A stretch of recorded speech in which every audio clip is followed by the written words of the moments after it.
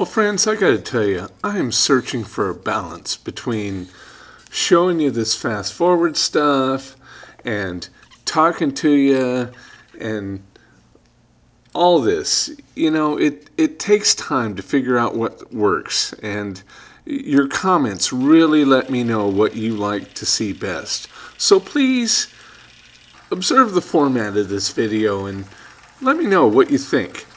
We're building an injection molding machine today, and it is kick-ass.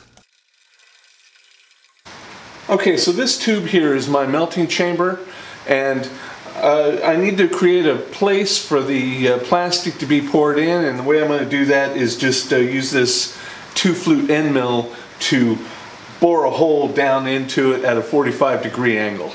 And uh, um, let's see how that works.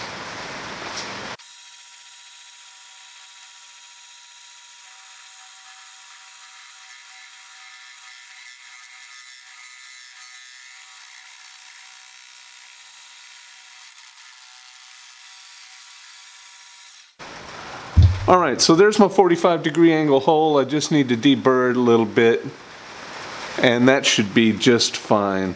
I'm going to make a little funnel here outside it to channel the plastic pellets down inside the tube.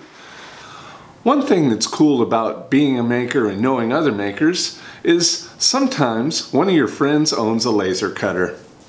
I told one of my friends that I needed an enclosure for the electronics of this machine and he sent me this, a stack of parts it's a laser cut box to hold the electronics. So the next thing I need to do is uh, put a flat end on this um, so I can interface with the uh, with the lever. One way to do that would be just chuck it up in the mill and, and mill it off but uh, you know I need so little metal removed I think I'm going to just take a big file and do it.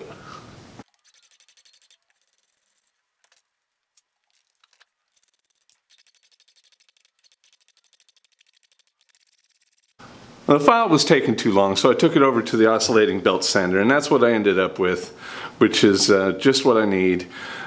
Now what I need to do is turn this down on the lathe so it'll fit into the melting chamber.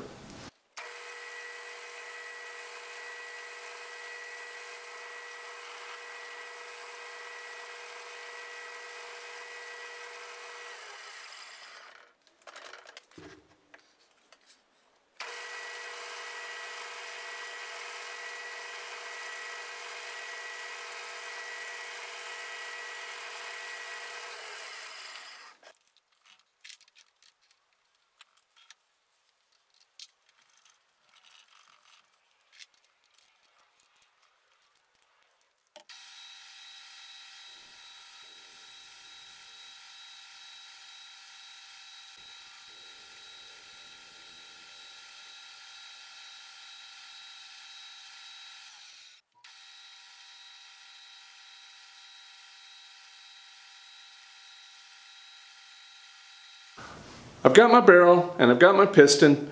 It fits inside the barrel. This is going to grow by 5 thousandths when I heat it. And um, yeah, the fit is pretty good.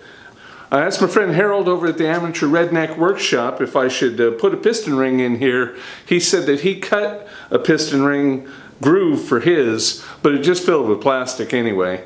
So uh, I'm going to rely on the length of the contact area, which is about uh, an inch and a half, to uh, seal the plastic, to keep it from blowing back past the piston. Now the last thing I need to do is make the actual injector nozzle and the way I'm going to put this thing together is I'm going to heat this up. We did an experiment and we know that this grows 5 thousandths of an inch when we heat it and uh, I'm going to shrink this in dry ice and we're going to put the two together and they will be forever stuck. To make doubly sure they stick together, what I'll do is I'll drill a hole through the barrel into the nozzle and tap it with quarter 20 threads, which is the thread size for the thermocouple, which is the heat sensor.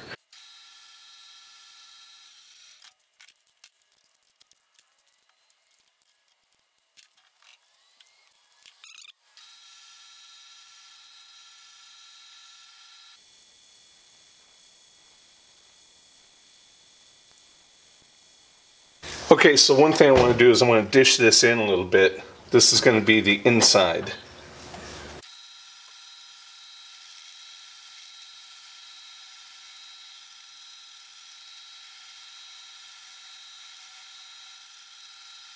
Well, the camera battery died while I was while I was making it, but this is what I came up with. It's a 3 8 inch tip with a uh, the same angle as a 3 8 inch drill bit on the end. That way when we make the mold, we just drill a hole in it with a 3 8 inch drill bit and this should mate into it perfectly. Then it's got a little bit of a dish on the inside and I didn't turn it down any, I just polished it a little bit with some 400 grit sandpaper. So now I need to freeze this and heat the barrel and press the two together.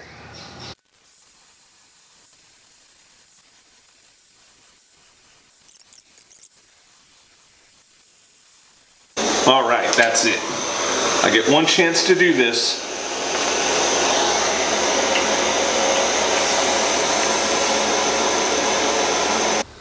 That is perfect. That is exactly what I was hoping for.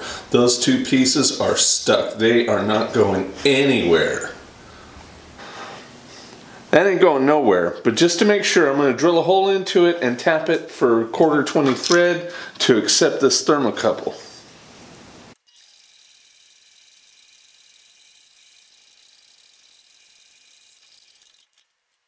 One thing I've decided to do is I'm going to center drill and tap the end of the piston. And the reason I'm going to do that is because I think I want to put a, a silicone washer on the end of it to, uh, to sweep the inside of the barrel.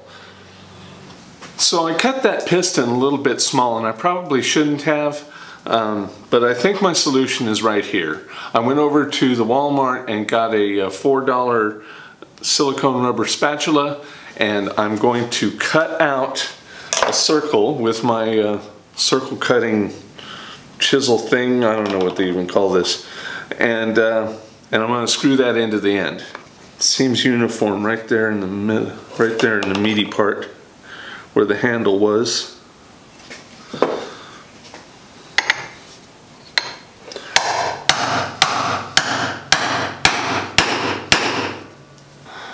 Think I could ask for much better than that for a piston seal.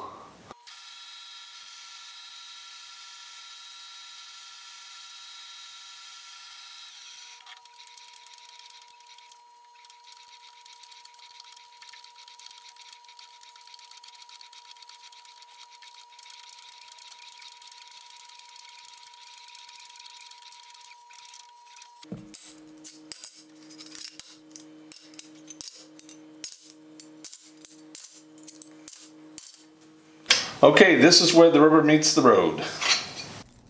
Now I'm going to just fast forward through all this tedious assembly stuff because, you know, the fact of the matter is I put this thing together and took it back apart three or four times because uh, I put things in, in the wrong order and I needed spacers in places that I didn't have. So you guys know how it goes.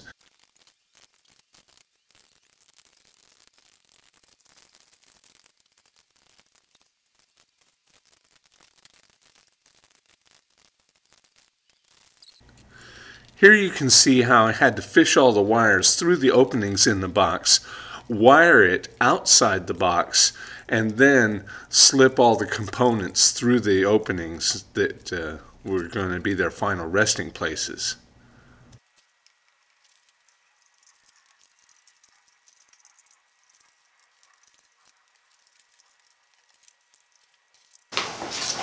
Time for the smoke test.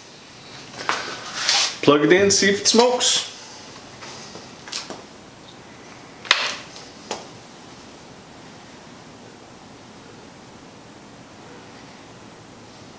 All right, it works. So there it is, and I gotta tell you, I feel really great about this. It's an injection molding machine for under a $100. And I don't have any plastic, otherwise I'd even try it out and melt some plastic for you. The next step is going to be how to make molds and fill them up with molten plastic.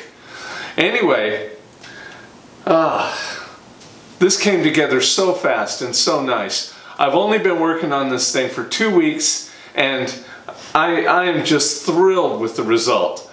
So stay tuned to see what I end up doing with this thing and a bunch of other really great projects I got lined up. So please like, comment, share, and subscribe. Click up here if you want to see my last video, and click over here if you want to see something of mine that YouTube thinks you'll like. And have a good one.